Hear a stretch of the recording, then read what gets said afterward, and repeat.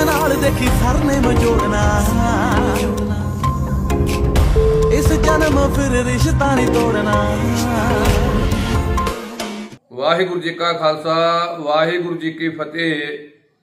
ਅੱਜ social media ਦੇ ਉੱਪਰ ਇੱਕ ਵੀਡੀਓ ਵਾਇਰਲ ਹੋ ਰਹੀ ਹੈ ਕਿ ਸ੍ਰੀ ਗੁਰੂ ਗ੍ਰੰਥ ਸਾਹਿਬ ਦੀ ਹਜ਼ੂਰੀ 'ਚ ਕਿਸੇ ਕੰਜਰ ਬੰਦੇ ਨੇ ਇੱਕ ਲੜਕੀ ਨੂੰ ਬਾਹਾਂ ਤੇ ਚੁੱਕ ਕਰਕੇ ਗੁਰਮਤ ਦੀਆਂ ਧੱਜੀਆਂ ਡਾਈਆਂ ਨੇ। ਕੁਝ ਬੰਦੇ ਮੈਂ ਕੁਰਸੀ ਤੇ ਬੈਠੇ ਉਸ ਵੀਡੀਓ 'ਚ ਵੇਖੇ ਹਨ, ਨੰਗੇ ਸਿਰ। ਜਿਹੜਾ ਸਤਿਗੁਰ ਦੀ ਤਾਬਿਆਂ 'ਚ ਬੈਠਾ ਹੈ, ਉਹ ਇੱਕ ਭੇਖੀ ਸਿੱਖ। ਦਿਖਾਵੇ ਦਾ ਸਿੱਖ। ਮਾਇਆ ਦੀ ਖਾਤਰ ਸਤਿਗੁਰਾਂ ਦਾ ਅਪਮਾਨ ਕਰਵਾ ਰਿਹਾ ਹੈ ਇਹਨਾਂ ਲੋਕਾਂ ਕੋਲੋਂ। ਇਹ ਕਿਉਂ ਹੋ ਰਿਹਾ ਹੈ? ਕਿ ਜਿਹੜੇ ਜਥੇਦਾਰ ਤਖਤਾਂ ਦੇ ਬੈਠੇ ਹਨ, ਉਹ ਬਿਲਕੁਲ ਕੁੰਭ ਦੀ ਨੀਂਦ ਸੁੱਤੇ ਹੋਏ ਹਨ।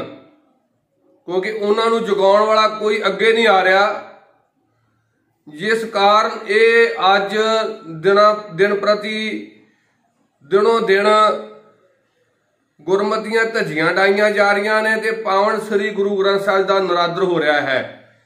ਬੜੀਆਂ ਥਾਵਾਂ ਤੇ ਇਹ ਘਟਨਾਵਾਂ ਵਾਪਰੀਆਂ ਨੇ। ਕੋਈ ਸਖਤ ਸਟੈਂਡ ਨਹੀਂ ਲਿਆ ਜਾਂਦਾ। ਜੇਕਰ ਸਤਕਾਰ ਕਮੇਟੀ ਇਹਨਾਂ ਵਰਗਿਆਂ ਨੂੰ ਜਿਹੜੇ ਗੁਰਮਤ ਦੇ ਧੱਜੀਆਂ ਡਾ ਰਹੇ ਨੇ, ਉਹਨਾਂ ਨੂੰ ਜੇ ਕੁੱਟਮਾਰ ਕਰਦੇ ਹਨ ਤੇ ਲੋਕ ਵਿਰੋਧ ਕਰਦੇ ਹਨ। ਆਓ ਆਪਾਂ ਅੱਗੇ ਆਈਏ ਤੇ ਇਹ ਜਿਹੜੇ ਲੋਕ ਗੁਰਮਤ ਦੀਆਂ ਧੱਜੀਆਂ ਡਾ ਰਹੇ ਨੇ, ਇਹਨਾਂ ਨੂੰ ਨੱਥ ਪਾਈਏ, ਕਿਉਂਕਿ ਹੋਰ ਵੀ ਆਪਣੇ ਧਰਮ ਹਨ। ਹਿੰਦੂ ਧਰਮ ਵੀ ਹੈ, ਅਸਾਈ ਧਰਮ ਵੀ ਹੈ ਤੇ ਮੁਸਲਮਾਨ ਧਰਮ ਵੀ ਹੈ। ਉਹਨਾਂ ਦੇ ਵਿੱਚ ਇਹ ਚੀਜ਼ਾਂ ਅੱਜ ਵੇਖਣ 'ਚ ਨਹੀਂ ਆ ਰਹੀਆਂ। ਕੇਵਲ ਜੇਕਰ ਕੋਈ ਸਿੱਖ ਧਰਮ ਦੇ ਵਿੱਚ